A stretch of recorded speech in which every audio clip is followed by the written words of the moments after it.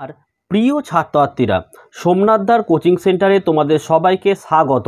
আজ আমি নবম শ্রেণির ইতিহাস, মডেল অ্যাক্টিভিটাস অক্টোবর দু হাজার একুশ, অর্থাৎ যাকে আমরা পার্ট সেভেন বলতে পারি।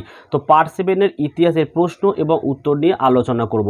তোমাদের যদি এক থেকে ছ নম্বর বা এক থেকে সাত নম্বর মডেল অ্যাক্টিভিটাক্সের যে কোনো সাবজেক্টের কমপ্লিট না হয়ে থাকে, তোমরা এই ভিডিও ডেসক্রিপশন বক্সে চলে যাবে। আমি একটি মাত্র লিঙ্ক দিয়ে রাখব, সেই লিঙ্কে ক্লিক করে কিন্তু তোমরা অবশ্যই প্রশ্নের উত্তরগুলো দেখে নিতে পারো। তো চলো আজকের ভিডিও শুরু করি। তো দেখো, একের দাগের কী বলেছে? সঠিক তথ্য দিয়ে নিচে ছকটি পূরণ করো। নাম্বার দেখো ওয়ান ইন্টু ফোর তো দেখো, এখানে দেখো, সন্ধি অথবা চুক্তি, এখানে সময়কাল, এখানে স্বাক্ষরকারী। দেখো ব্রেস্ট লিটোভস্কের সন্ধি, সময়কাল কত? উনিশশো আঠেরো।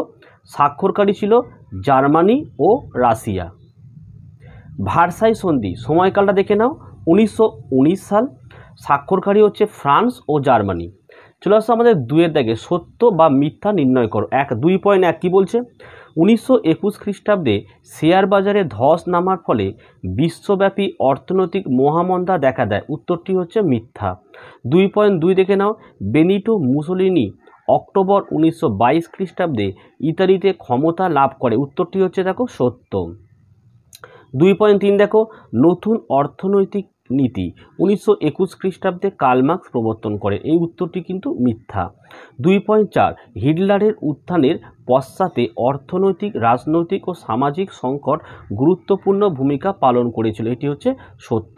এবার তোমরা দেখো, তিনের দাগের একটি প্রশ্ন যার মান হচ্ছে চার এবং চারের দাগে কিন্তু আরেকটি প্রশ্ন যার মান হচ্ছে দেখো আট। তো চলো উত্তরগুলো তোমরা দেখো। তো তিনের দাগের প্রশ্নটি কি বলা হয়েছিল? দেখো, বলছে প্রথম বিশ্বযুদ্ধের পর বিশ্বের মানচিত্রে কেমন ধরনের পরিবর্তন লক্ষ্য করা গিয়েছিল? তো উত্তরটি তোমরা দেখো, দীর্ঘ চার বছর ধরে ধ্বংসলীলা চলার পর অবশেষে উনিশশো আঠেরো সালে প্রথম বিশ্বযুদ্ধের অবসান ঘটে।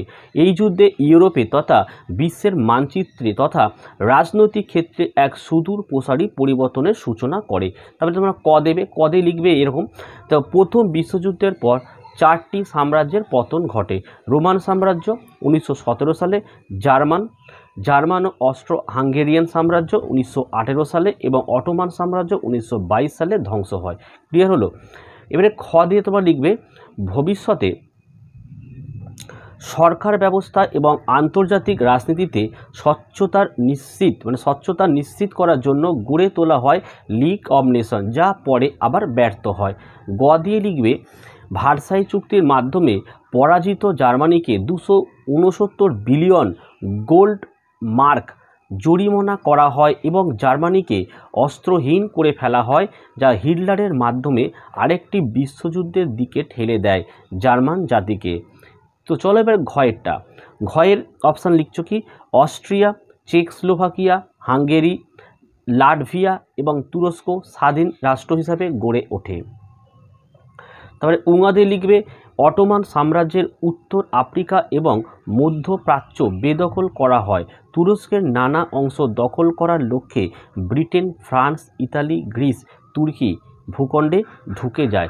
তো দেখো এখানে চার নম্বর ছিল, পাঁচটা পয়েন্ট এখানে লেখা হয়েছে, তাহলে আশা করা যায় চার নম্বর এখান থেকেই পাওয়া যাবে। তো চলো আমরা পরের প্রশ্নটি দেখি। দেখো চার নম্বরের প্রশ্নটি কি বলা হয়েছে? ইতালিতে কিসের কীভাবে, ইতালিতে কীভাবে ফ্যাসিবাদী শক্তির উত্থান ঘটেছিল আলোচনা করো। তো দেখো, প্রথমে লিখবে এরকম যে ইটালির সমগ্র জাতি যখন নৈরাজ্যে নিম্নজিত মুসলিনী সেই সংকটময় মুহূর্তে ইটালির রাজনীতির রঙ্গমঞ্চে আবির্ভূত হয়ে ইটালিবাসীর ত্রাণকর্তার ভূমিকায় অবতীর্ণ হয়, হন। তারপর তোমরা প্যারা লিখবে এইভাবে, দেখো, ফ্যাসিস্ট দল গঠন ও প্রসার। দেখো, তেইশে মার্চ উনিশশো নিরানব্বই সালে মিলান শহরে। তো এটা উনিশশো উনিশ করবে তোমরা একটা মিস্টেক হয়েছিল সরি তো দেখো, তেইশে মার্চ উনিশশো উনিশ সালে মিলান শহরে একশো আঠেরো জন কর্মচ্যুত সৈনিক ও দেশপ্রেমিককে নিয়ে Mussolini Fasci di Combattimento নামে একটি রাজনৈতিক দল গঠন করে। এই দলের সদস্যরা ফ্যাসিস্ট নামে পরিচিত। এই দলের প্রতীক ছিল দড়ি বাঁধা, কাষ্ঠদণ্ড বা আঁটি। ফ্যাসিস্ট দল প্রতিষ্ঠার দু বছরের মধ্যেই এর সদস্য সংখ্যা বেড়ে দাঁড়ায় তিরিশ লক্ষ। পরের পয়েন্টটি তোমরা এভাবে লিখবে, নির্বাচনে সাফল্য। দেখো, উনিশশো একুশ সালে সাধারণ নির্বাচনে অংশ নিয়ে এই দল পঁয়ত্রিশটি আসন পায়। এর ফলে ফ্যাসিস্টদের প্রভাব প্রতিপত্তি বৃদ্ধি পায়।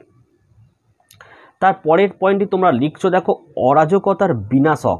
দেখো, সমাজতন্ত্রীদের অরাজকতা ও নেতিবাচক কার্যকলাপের বিরুদ্ধে রুখে দাঁড়িয়ে মুসোলিনি দেশের, মুসলিনি দেশের, একটা হবে দেশের, রক্ষক ও অরাজকতার বিনাশক হিসেবে নিজেকে ইতালিবাসীর কাছে প্রতিপন্ন করতে পেরেছিলেন।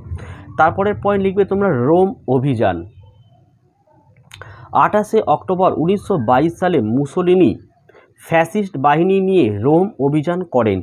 দুর্বল উদারপন্থী প্রধানমন্ত্রী লুইজি ফ্যাক্টর পদত্যাগ করলে রাজা তৃতীয় ভিক্টর ইমানুয়েল গৃহযুদ্ধ এড়াবার জন্য কোনো বাধা না দিয়ে মুসোলিনিকে প্রধানমন্ত্রীর পদ গ্রহণের আহ্বান জানান। লাস্ট পয়েন্টটা তোমরা লিখছো? দেখো, প্রধানমন্ত্রী রূপে মুসোলিনি কী লিখবে? ভিক্টর ইমানুয়েল এর আহ্বানে সাড়া দিয়ে তিরিশে অক্টোবর মুসোলিনি মন্ত্রিসভা গঠন করেন এবং প্রধানমন্ত্রীর পদ গ্রহণ করেন। তার প্রধানমন্ত্রী পদে নিযুক্ত হওয়ার মধ্য দিয়ে ইটালিতে ফ্যাসিস্ট দলের প্রাধান্য প্রতিষ্ঠিত হয়। তাহলে প্রত্যেকটি প্রশ্নের যথাযথ উত্তর তোমরা পেয়েছ। যদি ভিডিওটি ভালো লাগে, অবশ্যই লাইক ভালো না লাগলে অবশ্যই ডিসলাইক দিও। চ্যানেলে নতুন হলে চ্যানেলটিকে সাবস্ক্রাইব করে দিও এবং পাশে থাকা বেল আইকন প্রেস করে অল নোটিফিকেশনটাকে অন করে দিও, যাতে আমি যখনই কোনো ভিডিও আপলোড করব সবার তোমার কাছে পৌঁছে যায়। তাহলে আজকের ভিডিওটি আমি এখানেই শেষ করলাম। তোমরা প্রত্যেকে ভালো থেকো এবং সুস্থ থেকো।